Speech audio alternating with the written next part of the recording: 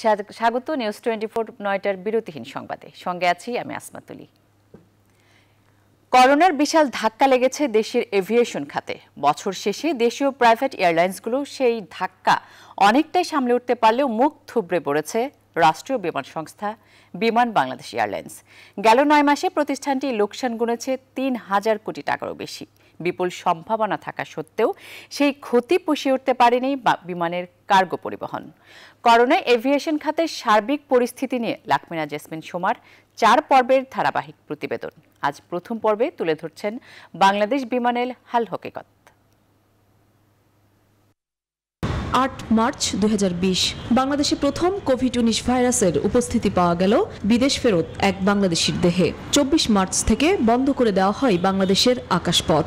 প্রায় তিন মাস বন্ধ থাকার পর পহেলা জুন থেকে অভ্যন্তরীণ রুটে এবং ষোলোই জুন থেকে ফের আন্তর্জাতিক রুটে একে একে ফ্লাইট চালু করে বাংলাদেশ। সীমিত পরিসরে ফ্লাইট চালু হলেও বিশাল ক্ষতি থেকে বাঁচতে পারেনি বাংলাদেশের এভিয়েশন খাত। সবচেয়ে বেশি ক্ষতির মুখে পড়েছে রাষ্ট্রীয় সংস্থা বিমান বাংলাদেশ এয়ারলাইন্স। অভিযোগ, সংস্থাটি চার্টার্ড কিংবা স্পেশাল ফ্লাইট পরিচালনার একচেটিয়া সুযোগ পেলেও তা কাজে লাগাতে পারেনি। তাদের ম্যানেজমেন্ট ঘাটতি আছে প্রফেশনালিজমের কিছুটা ঘাটতি আছে। প্রাইভেট এয়ারলাইন্স গুলোকে যেমন নিজেদের তাদের আয়ের উৎস না করলে তারা তাদের বেতন পাবে না বা তাদের যে ধরনের ই আছে অব্লিগেশন আছে স্টাফদের তারা দশবার চিন্তা করবে যে না, একটা লস মেকিং রুটে তারা যাবে কি যাবে না। বাট বিমানের এখানে সেই জায়গাটাতে একটু ডেফিনেটলি ঘাটতি আছে। তাদের পাইলটদের এক পয়সা বেতন কমে নাই। লাইক সরকারি কর্মকর্তা সিভিল সেক্টরে যারা, তাদের কিন্তু কমেছে। বিমান বাংলাদেশ এয়ারলাইন্স বলছে, মার্চ থেকে জুন প্রথম চার মাসেই রাষ্ট্রীয় সংস্থাটিকে অপারেটিং লস গুনতে হয়েছে এক হাজার সাতশো কোটি টাকা। এরপর জুলাই থেকে গেল নভেম্বর, পাঁচ মাসে বিমানের অপারেটিং লস হয়েছে আরও এক হাজার ছয়শো কোটি টাকা। সব মিলিয়ে নয় মাসে লোকসানের খাতায় তিন হাজার তিনশো কোটি টাকার হিসাব লিখেছে বাংলাদেশ বিমান। করোনার ধাক্কায় বড় ধরনের আর্থিক ক্ষতির মুখে দেশের এয়ারলাইন্স কোম্পানিগুলো। বিমান চলাচল না করলেও গ্রাউন্ডে ফেলে রেখে রক্ষণাবেক্ষণ ব্যয় বহন করতে হচ্ছে এই উড়োজাহাজগুলোর। বিমানের হিসাব বলছে আয় হোক আর না হোক, প্রতি মাসে তাদের নিট খরচ গুনতে হয় ছয়শো আঠাশ কোটি টাকা। কোভিডের কারণে শুধু বাংলাদেশ না, সারা বিশ্বের এয়ারলাইন্স। যত বড় এয়ারলাইন্স, তত বেশি ক্ষতি। আমাদের টার্গেট ছিল যে দুই হাজার উনিশ বিশে আমরা মিনিমাম দুই হাজার কোটি টাকার একটা টার্গেট ছিল বিমানকে নিয়ে। কিন্তু কোভিডের সংক্রমণের কারণে আমরা সেই লক্ষ্যে অত পৌঁছতে পারিনি। করোনার মধ্যেও বিমান বহরে যুক্ত হয়েছে নিত্য নতুন আধুনিক উড়োজাহাজ। তবে সেই নতুন ডানায় ভর করে বিমান কি পারবে লাভজনকভাবে উঠতে? Lakmina Jasmin Soma, news twenty Dhaka. কিশোর গ্যাং ধরতে নতুনভাবে অভিযানে মাঠে নামছে আইন শৃঙ্খলা রক্ষাকারী বাহিনী। এরই মধ্যে রাজধানীর হাতিরঝিল, উত্তরা, মোহাম্মদপুর সহ বেশ কয়েকটি এলাকায় অভিযান চালিয়ে গ্যাং কালচারে সম্পৃক্ত প্রায় দুশো কিশোরকে গ্রেফতার করা হয়। সংস্থাগুলোর তথ্য বলছে শুধু রাজধানীতে পাঁচ শতাধিক কিশোর চল্লিশটি গ্যাংয়ের সাথে যুক্ত যারা চুরি ছিনতাই মাদক সেবন ও বিক্রি সহ ঘটাচ্ছে খুনের মতো ঘটনাও। বিস্তারিত নাইম আলজিকোর প্রতিবেদনে। সন্তানকে হারিয়ে এভাবেই প্রলাপ করছিলেন সোহাগ আহমেদের মা পারভিন বেগম, গত বছর সাতাশ আগস্ট রাতে রাজধানীর উত্তরখান এলাকায় কিশোর গ্যাং দি বসের সদস্য মাহবুব রাসেল ওরফে কাটা রাসেলের হাতে খুন হয় সে। চাকা থেকে কাদা ছেটানোর কারণে এক রিক্সা চালককে তাদের মারের হাত থেকে বাঁচানো ছিল সোহাগের অপরাধ। এখন চাওয়া একটাই, সন্তান হত্যার সুষ্ঠু বিচার। বিরিয়ানিটা অনেক পছন্দ করছে মরণের আগেও কইছে রান্না। পরের দিনে তোমার তো তোর সামনের বাইক হইল না। চাই যে বিচারটা বিচারটা দুজন থেকে যাইতে হবে তো মূল লোকটা শান্তি মমতা বলে না, আমার শরীরের রক্তার বিচার। একই বছরের এক আগস্ট নারায়ণগঞ্জে আহাদ আলম শুভ মিয়াকে কুপিয়ে হত্যা করে একটি কিশোর গ্যাংয়ের সদস্যরা। দশ আগস্ট নারায়ণগঞ্জের বন্দর উপজেলায় কিশোর গ্যাংয়ের দুই গ্রুপের সংঘর্ষ চলাকালে আত্মরক্ষার্থে শীতলক্ষা নদীতে ঝাঁপিয়ে পড়লে মিহাদ ও জিসান নামে দুই কিশোরের মৃত্যু হয়। এক এপ্রিল ফতুল্লা দেওভোগ আদর্শনগর কিশোর গ্যাংয়ের সদস্যরা শরীফ হোসেন নামে এক ব্যবসায়ীকে কুপিয়ে হত্যা করে। দু হাজার সতেরো সালের জানুয়ারিতে উত্তরায় ডিস্কো ও নাইট স্টার গ্রুপের দ্বন্দ্বে নিহত হয় কিশোর আদনান কবির। তার পরের মাসে তেজকুনি পাড়ায় দুই গ্রুপের দ্বন্দ্বে খুন হয় কিশোর আজিজুল হক। বরগুনার নয়নবন্ড তার জিরো জিরো সেভেন গ্রুপ নিয়ে জনসমুখে রিফাত শরীফকে কুপিয়ে হত্যা করে। আইন শৃঙ্খলা রক্ষাকারী বাহিনীর তথ্য বলছে, রাজধানীর উত্তরা, খিলগাঁও দক্ষিণখান টঙ্গী, ড্যামরা, সূত্রাপুর, সবুজবাগ, খিলক্ষেত, মোহাম্মদপুর সহ কিশোর গ্যাংয়ের দশটি এলাকাকে তারা শনাক্ত করেছে। আর এসব এলাকায় seven star, big boss, black mamba, dark knight সহ চল্লিশটি কিশোর গ্যাংয়ের সাড়ে পাঁচশো কিশোর বিভিন্ন অপরাধের সঙ্গে জড়িত। তাদের কাছে এখন স্মার্টনেস মানে সীসাবারে সীসা সেবন ও মদ খাওয়া, যার পরিণতি সম্প্রতি মোহাম্মদপুরে ঘটে যাওয়া বেসরকারি বিশ্ববিদ্যালয়ের শিক্ষার্থী ধর্ষণ ও হত্যার ঘটনা। মাদক, ছিনতাই, সব সব ধরনের ঘটনা জড়িত রয়েছে। এবং তারা কিন্তু ম্যাক্সিমামে যে মানে গরিব তাও না। তাদের একটা গ্যাং এই কিশোররা একসাথে থাকে। তারা এটাকে প্রথমে মনে করে যে একটা আনন্দের মধ্যে তারা নেয়। হত্যা, যে ধরনের ধর্ষণ অথবা সামাজিক অপরাধ যেগুলো বেড়ে যাচ্ছে, এ সকল বিষয়ে র্যাবের অভিযান অত্যন্ত জোরালোভাবে অব্যাহত রয়েছে। পরিস্থিতি নিয়ন্ত্রণের জন্য আইন শৃঙ্খলা রক্ষাকারী বাহিনীকে যেমনটা কাজ করতে হবে, পাশাপাশি সন্তান কোথায় যাচ্ছে, কার সাথে মিশছে, কি করছে সে বিষয়ে অভিভাবকদের নজর রাখতে হবে বলে মনে করছেন বিশেষজ্ঞরা। নাইম আলচিকো নিউজ টোয়েন্টি ঢাকা। চতুর্থ দফায় আজ ভাসানচর যাচ্ছে আরও দুই হাজার রোহিঙ্গা। এরই মধ্যে তাদের চট্টগ্রামের জাহাজ ঘাটে নেওয়া হয়েছে। বিস্তারিত জানাতে চট্টগ্রাম থেকে যুক্ত হচ্ছেন সহকর্মী নয়ন বড়ুয়া জয়। জয়, এর আগে তিন দফা রোহিঙ্গারা ভাসানচর গেছে। এবার মিলে মোট কতজন রোহিঙ্গাকে ভাসানচরে স্থানান্তর করা হলো?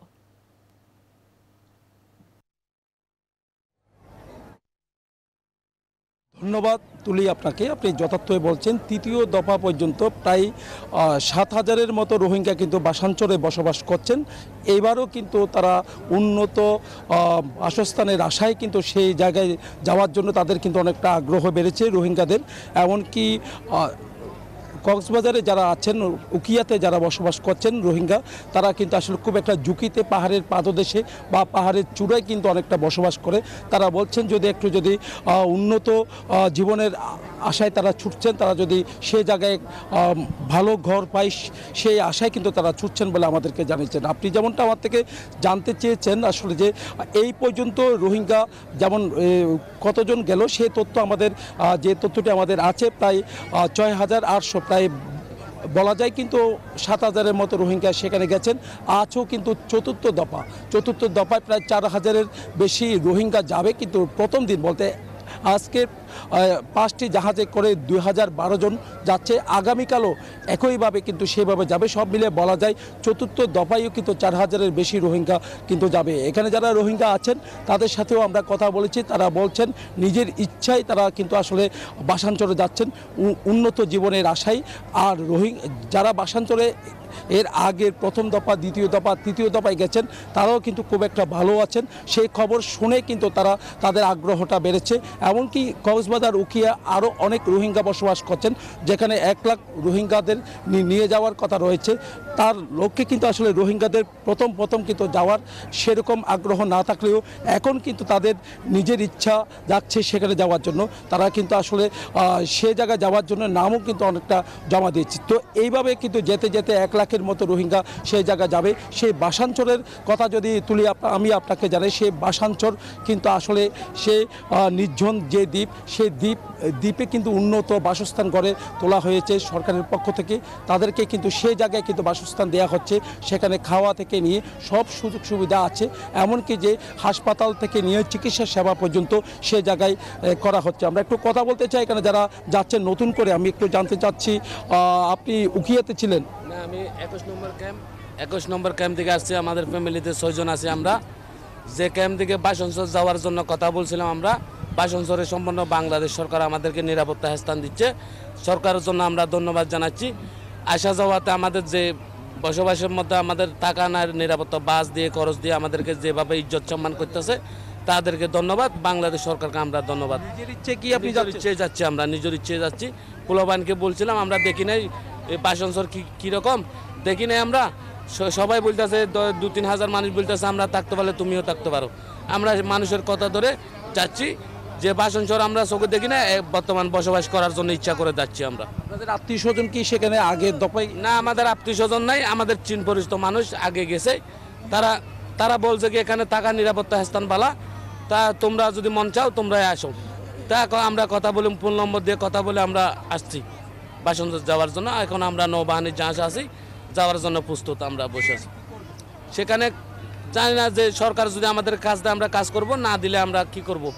এই নিজের ইচ্ছা মতো আমরা চলতে পারব না। সরকারের ইচ্ছা মতো রাজি আমরা। যে কোনো কাজ বলতে আমাদের পোলাবান সুখে থাকবে, আমরা কাজ করে সুখে রাখতে বলে রাখছি, তারা কষ্ট পেলে আমাদের কষ্ট হবে। তাই ইচ্ছা করে আমরা যাচ্ছি। বাংলাদেশ সরকারকে আমরা ধন্যবাদ, যে সরকার আমাদেরকে নিয়ে যাচ্ছে, তাদেরকে ধন্যবাদ। যারা আমাদেরকে ছয়জন আছে আমরা ফ্যামিলিতে। ধন্যবাদ আপনাকে। তুলি আপনি অবশ্যই বুঝতে পেরেছেন এখানে যারা রোহিঙ্গারা কিন্তু আসলে যে বাসাঞ্চলের উদ্দেশ্যে রওনা দেবে কিন্তু একটু পরে পাঁচটি জাহাজে করে তারা যাবেন। আগামীকালও একইভাবে কিন্তু যাবেন। সব মিলিয়ে চতুর্থ দফায় চার হাজারের বেশি রোহিঙ্গা কিন্তু বাসাঞ্চলে যাবে বলে আমরা জানতে পেরেছি। তো এই ছিল আমার এখানকার সর্বশেষ। ফিরে যাচ্ছি স্টুডিওতে তুলির কাছে। জয় ধন্যবাদ আপনাকে। ভাষাঞ্চর থেকে রোহিঙ্গা স্থানান্তরের খবর জানাচ্ছিলেন সহকর্মী নয়ন বড়ুয়া জয় এবার পৌর নির্বাচনের খবর। চতুর্থ ধাপের পঞ্চান্ন পৌরসভা নির্বাচনে আওয়ামী লীগের জয় জয়কার পঞ্চান্ন পৌরসভার মধ্যে আটচল্লিশটিতেই বেসরকারিভাবে জয়ী আওয়ামী লীগের মেয়র প্রার্থীরা। পাশাপাশি একটি পৌরসভায় বিএনপি, স্বতন্ত্র জয়ী চার পৌরসভায় এবং দুইটির ফলাফল স্থগিত করা হয়েছে। এর আগে বিচ্ছিন্ন সহিংসতার মধ্য দিয়ে চতুর্থ ধাপের পৌর নির্বাচন অনুষ্ঠিত হয়। নির্বাচনী সংঘর্ষে একজন নিহত সহ আহত হয়েছেন প্রায় অর্ধ শত মানুষ। অনিয়মের অভিযোগে এবারও বিভিন্ন স্থানে নির্বাচন বর্জন করেছেন বিএনপির প্রার্থীরা।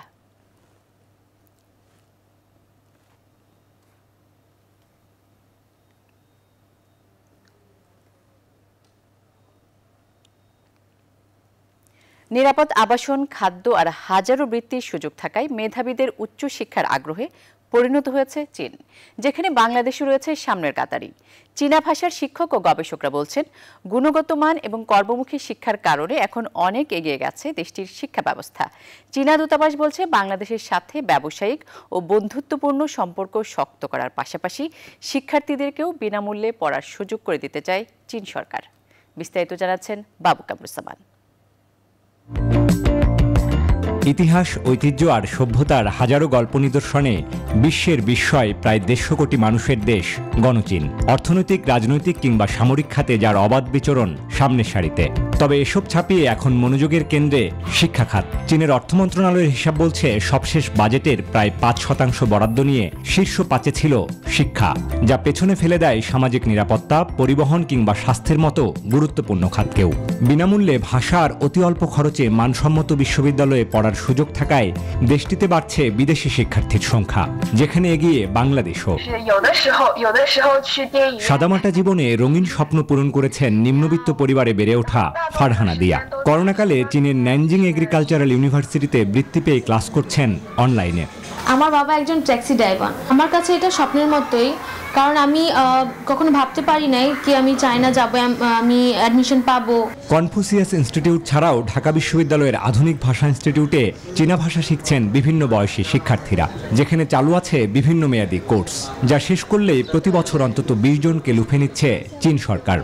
চায়না গভর্নমেন্ট হিউজ পরিমাণে একটা স্কলারশিপ স্টুডেন্টদের জন্য দিচ্ছে ইন্টারন্যাশনাল স্টুডেন্টদের জন্য। পড়াশোনার ক্ষেত্রে এটা আমাদের খুব ভালো একটা সাপোর্ট দিচ্ছে। ওরা আমাদেরকে step by step SSK one SSK two next year আমি এসএসকে ফোরে ক্লাস শুরু করব। এখানে ইন্টারপ্রেটিং এর অনেক স্কোপ আছে। আমি বাইরে যাওয়ার অনেক স্কোপ আছে তারপরে বিভিন্ন মাল্টিন্যাশনাল কোম্পানিগুলোতে আমি অ্যাপ্লাই করতে পারব। চীনা ভাষায় আমি বাংলাদেশকে ভালোবাসি এটা কীভাবে বলব? ওয়াই মাংচালা কুয়ো। ও আই মাঞ্চালা কুয়ো এই যে চীনা শব্দ, চীনা ভাষা, এটি শুনতে কিছুটা জটিল বা কঠিন মনে হলেও এই ভাষাই কিন্তু আসলে আপনার স্বপ্ন পূরণ করতে পারে। উচ্চশিক্ষার জন্য যে ক্যারিয়ার আপনি করতে চান, সেটি কিন্তু পূরণ করতে পারে। চীনা দূতাবাসের তথ্য অনুযায়ী, সে দেশে উচ্চশিক্ষা প্রতিষ্ঠান ও বিশ্ববিদ্যালয় আছে তিন হাজারেরও বেশি, যেখানে পড়াশোনা করছেন ছয় লাখ বিদেশি শিক্ষার্থী। বিশ্বের সেরা বিশ্ববিদ্যালয়ের তালিকায় এখন অনেকগুলোই চীনের দখলে। Scholarships for the Bangladesh students. শিক্ষা খাতে চীন সরকার বিপুল অর্থ বিনিয়োগ করছে। নামমাত্র টিউশন ফি আর হাজার হাজার বৃত্তির সুযোগ আছে চীনের প্রায় সব বিশ্ববিদ্যালয়ে। বাংলাদেশের সাথে চীনের যে বন্ধুত্বপূর্ণ সম্পর্ক বৃত্তি পেতে এখানকার শিক্ষার্থীদের অবশ্যই বাড়তি সুযোগ দেওয়া হবে। আমার চার পাঁচশো স্টুডেন্ট অলরেডি স্কলারশিপ পেয়েছে। এখনও চায়নাতে সম্ভবত দুশোর উপরে আছে আর বাকিরা দেশে এসে এখন জবে আছে। অনেক কোম্পানি এসে বলে যে অনার্স পাশ করলে এই ব্যাচটা ধরেই তাদেরকে দিতে হবে। পঞ্চান্ন ভাগ সবুজায়নে ঘেরা চীনের দৃষ্টিনন্দন সিনহুয়া বিশ্ববিদ্যালয়, যেখানে শতাধিক দেশের বিদেশি শিক্ষার্থী আছে চার হাজার। বিশ্ব র্যাঙ্কিংয়ে শীর্ষ পনেরোতম এই বিশ্ববিদ্যালয়ে স্কলারশিপ ছাড়াও নিজ খরচে পড়তে স্নাতকোত্তর পর্যায়ে এক বছরে টিউশন ফি চার হাজার তিনশো থেকে সাড়ে সাত হাজার ডলার। অন্যদিকে যুক্তরাজ্যের এডিনবার্গ বিশ্ববিদ্যালয়, র্যাঙ্কিংয়ে বিশতম হলেও বাড়তি টিউশন ফির চাপে অনেক শিক্ষার্থীর কাছেই তা থাকে অধরা। চীনের বেশিরভাগ বিশ্ববিদ্যালয়ে বিদেশি ছাত্রছাত্রী বিশেষ করে বাংলাদেশিদের জন্য স্পেশাল স্কলারশিপ আছে। অনেককে দেখেছি আমি টাকা পাঠাও কিছু কিছু স্কলারশিপ থেকে।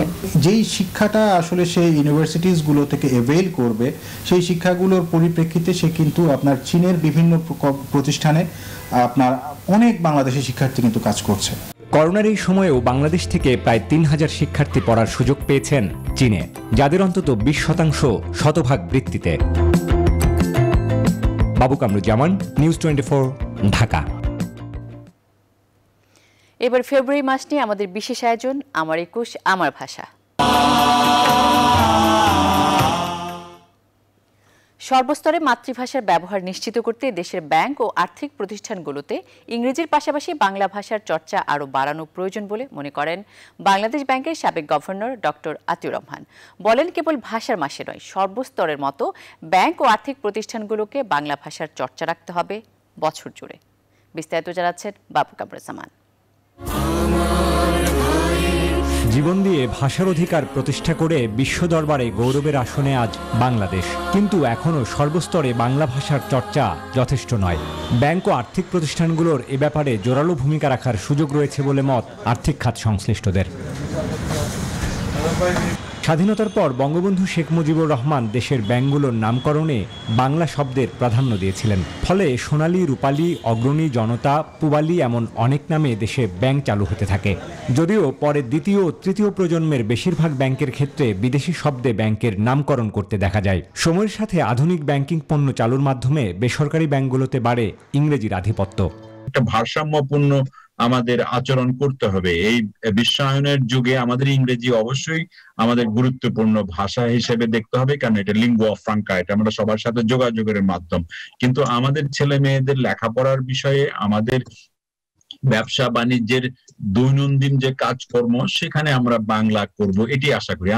কেন্দ্রীয় ব্যাংক হিসেবে বাংলাদেশ ব্যাংক প্রতিবেদন প্রকাশে নিয়মিত বাংলার চর্চা করলেও এখনও বেসরকারি আর্থিক প্রতিষ্ঠানের সভা সেমিনারে বহুল ব্যবহার হচ্ছে ইংরেজি। তাই জনগুরুত্বপূর্ণ বিষয়গুলোতে ইংরেজির পাশাপাশি বাংলার ব্যবহার নিশ্চিত করার তাগিদ সাবেক এই গভর্নরের। পাবলিক সেক্টর ব্যাংকগুলোতে তো খুবই বাংলায় চর্চা হচ্ছে, কিন্তু কিছু কিছু প্রাইভেট ব্যাংকে ইংরেজি বেশি চর্চা হয়। যেখানে জনস্বার্থ জড়িত, যেখানে জনগণের সাথে তোমার লেনদেন করতে হয়, সেখানে বাংলা চর্চা তাদেরও করা উচিত।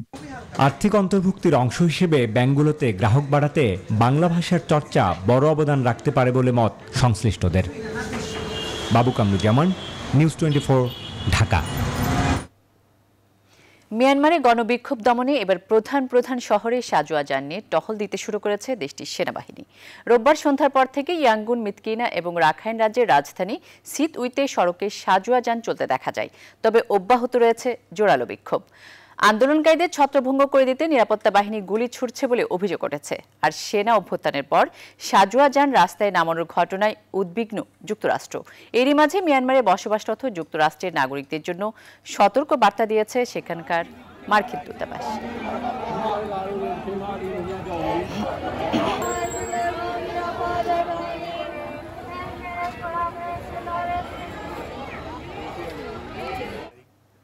এখন এই পর্যন্তই সাথে থাকায় ধন্যবাদ সবাইকে।